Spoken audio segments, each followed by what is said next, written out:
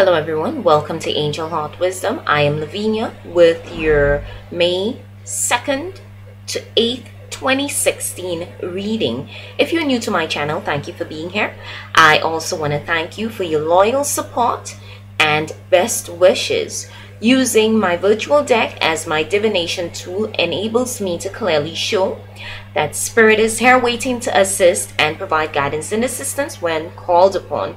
Those of you who embrace the message and my strong connection to Spirit, my sincere love and gratitude to you. Continue to like, share, and subscribe and show your love. For personal reading with me, visit my website www.angelheartwisdom444.weebly.com. Book and purchase your readings. Email your questions to angelheartwisdom444 at gmail.com.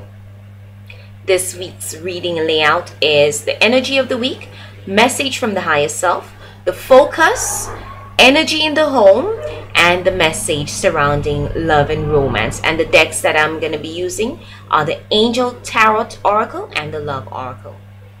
Taurus, thank you and welcome. Hope you guys had an, an amazing week. You were regenerative force. You know, you had to really focus on your your dreams uh, and receive from the universe and believe what you have been manifesting is what is to come to you. You also had to forgive the past, forgive yourself, forgive others. So let's see what your team has in store for you for this week. We're to start off with the energy of the week, and it is trust.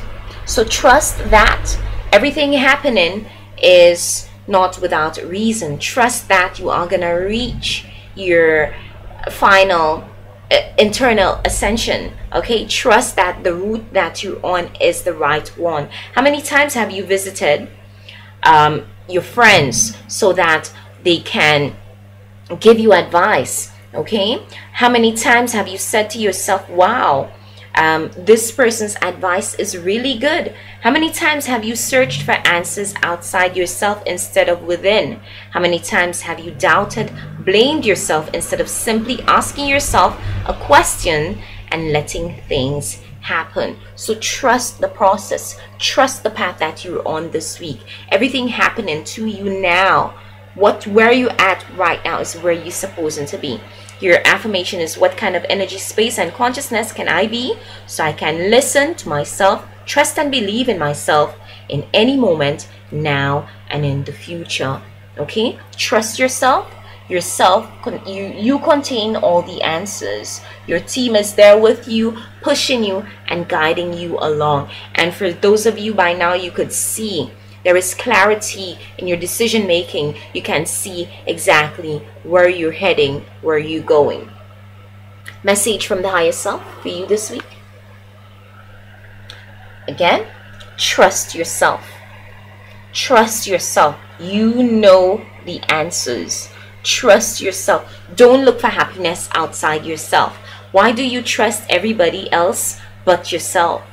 You are the only one who knows everything about you. No one else can give you your answers. And I'm feeling like this week, people may try to confuse you and take you off your path, take you off your direction. But stick to what you know is true for you.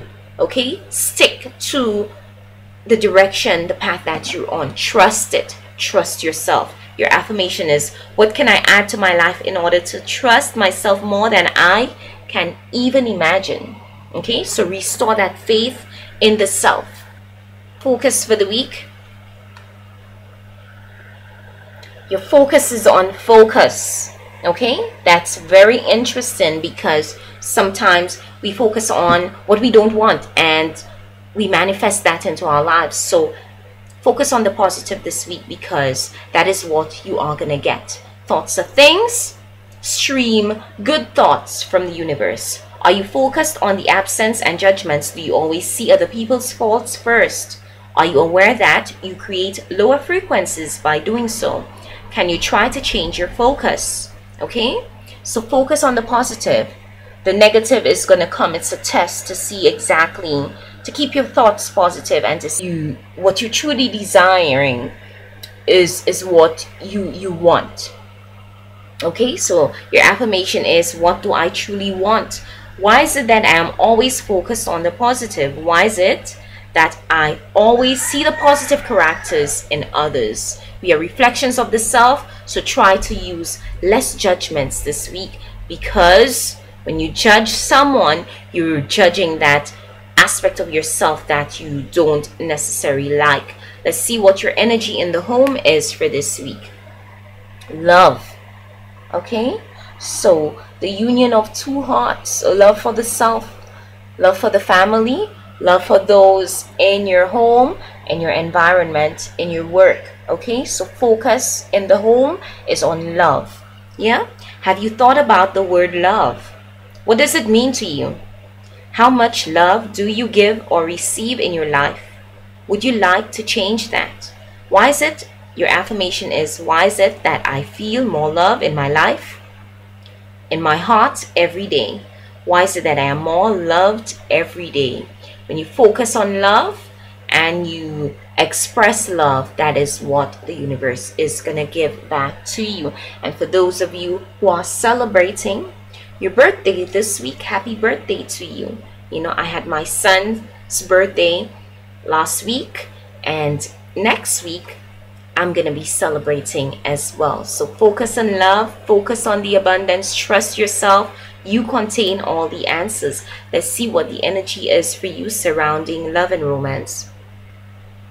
Last week, um, there were Spirit for love. Spirit wanted you to know you will know when is the right time to make those moves, to make those changes, whatever it is your heart has been desiring.